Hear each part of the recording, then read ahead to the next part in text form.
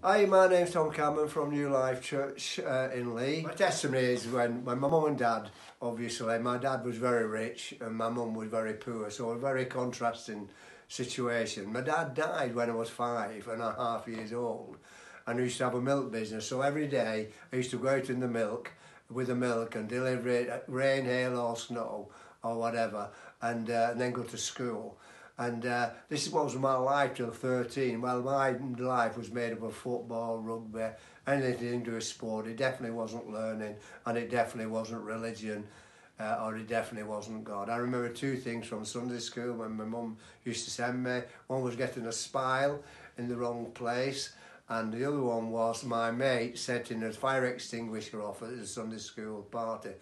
But uh, you know, the thing is, you go on and on and on, and God never leaves you at all, and He's always with you and wants to help you in every situation you find out yourself in. Anyway, my name was Rugby, but uh, I always wondered, well, you know, what happens in a few years' time if I get this, because they always thought very highly of me, and uh, and this happens, and I thought to myself, so you just bring a kind of a so what, you know, three score years in ten, what's it all about?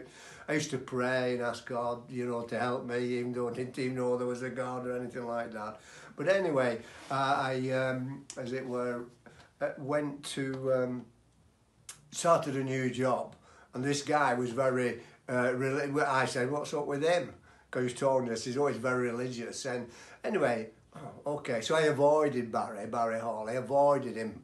I don't know how many months it was. Anyway, I uh, I went home one night, had a few drinks, got side to side of my bed and prayed. I said, well, Lord, you know, you have to get through to me because, I mean, I can't get through to you if you're bigger than me, etc.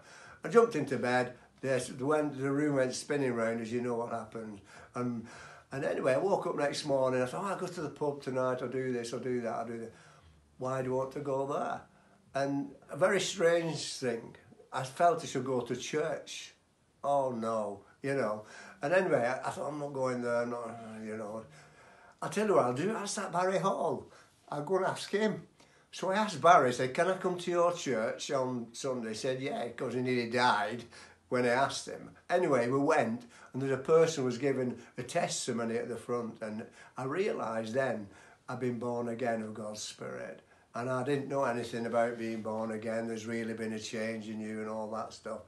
And the Bible became new to me. Oh, it was like, oh, what's this all about? This is a tremendous book there. And when I prayed, it was, all, it was as if somebody was listening to me, you know. But I prayed before, you know. But it was at this time, it was as if somebody was there. And you know, the, the Bible said, if you sing a chorus, skies above all blue, everything in the spirit's new, it's summertime, in my heart. And that's what it was all about. I was a new creature, something different in my life. And uh, I had a purpose in life, and that was to serve the Lord Jesus Christ. There's nothing greater. Just give God a chance, and He will help you and bless you and do you good. And it'll be a start of a really tremendous journey. And you'll find out God is a better friend than your best friend. Thank you for listening. Thank you.